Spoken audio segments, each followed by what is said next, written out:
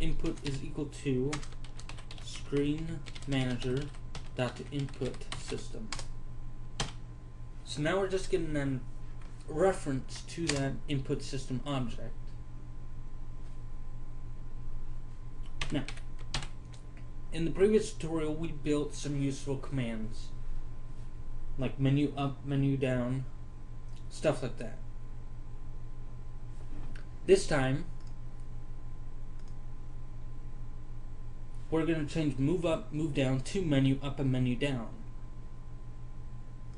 So let's go ahead and change move to menu, move down to menu, move left and move right, we can delete.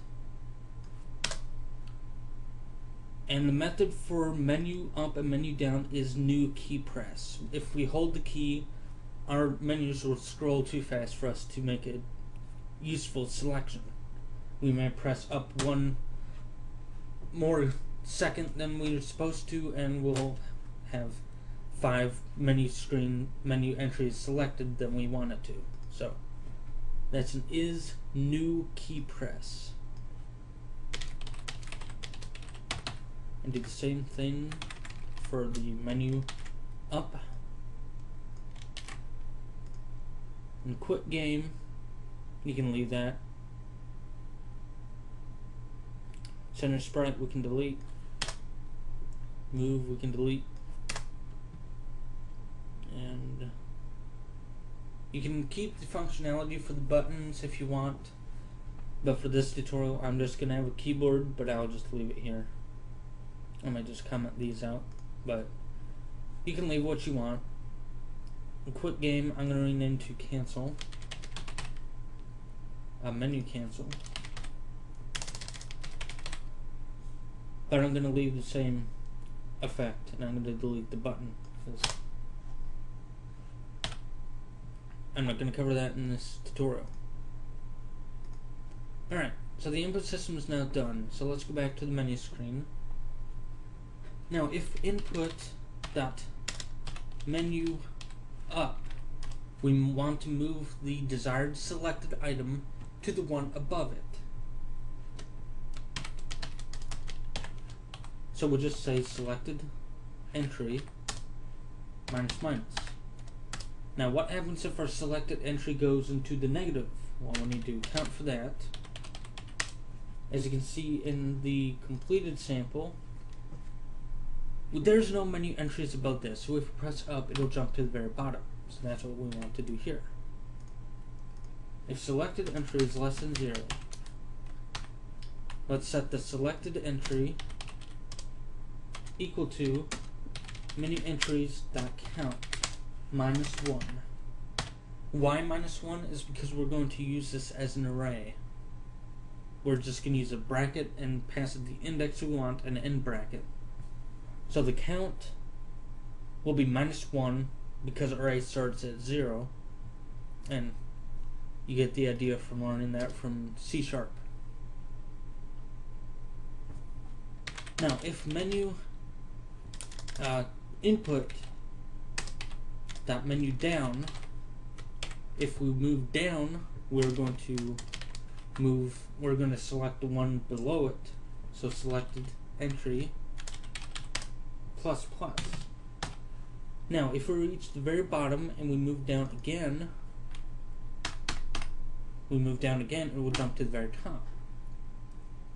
So that's what we are going for here. We need to repeat the same thing, but if selected entry is greater than or equal to menu entries count. We're going to select it equal to zero. Why is it greater than or equal to? Because it's an array. If the count is greater than the array size so selected entry will be equal to that when we press down from the last entry. It will be greater than that if we press down twice from the last entry.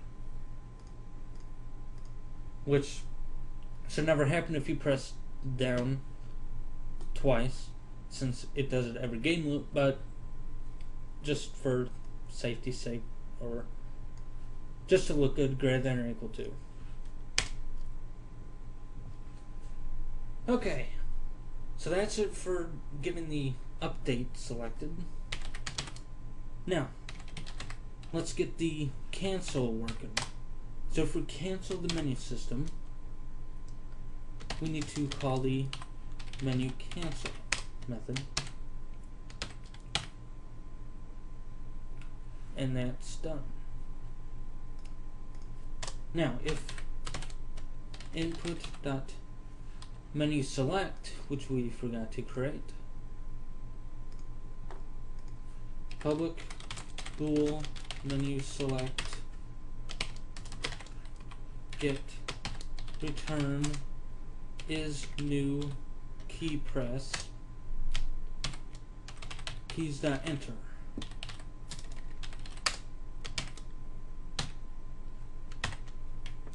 you can change the key you want to use as the selected entry or you can do two keys just make sure you do the or and so on. But for the tutorial enter will be select escape will be cancel up will be menu up down will be menu down. So if we go back to the menu screen we now have the property menu select. Now we're just going to do the menu select method. We need to pass it the selected entry, and there we have it.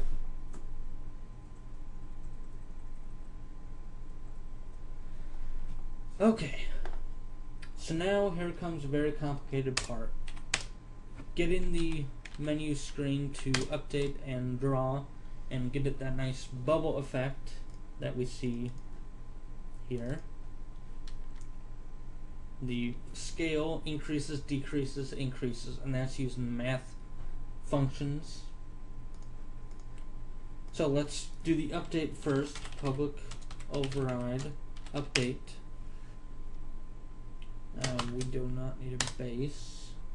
I'm sorry, we do need the base. So, but now here's something a little bit different. We're going to do the code after the base instead of before the base. And the reason is we want the base dot update. We want to get everything updated. If it's exiting, we want it to increase the transition. If it's covered, we want to change the state of the screen. And if it's not active, we want it to increase the transition before we do the coding for our menu system. So position is equal to new vector 2. We want to set the position equal to the start position. And we do this by adding a new vector 2. That way it gets a new object instead of using the start position object. Because that way it'll increment both of them, which we do not want. So after the base set update, it sets the current, it gets the state of the screen and it updates that depending on what is going on. So we can do this here. Screen state is equal to screen state that transition on or screen state is equal to screen state that is or transition off. So if, if it's transitioning, we want to do the little fly in and fly out animation we've seen here. So in order to do that, we need to add a new vector 2 called acceleration. And this just gets a nice acceleration of the position, which will give us a nice fade effect we're going for. That's going to be a new vector 2.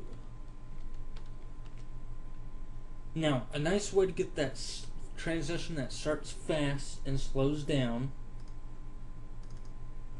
starts fast and slows down, slows down and speeds up, is a math.power.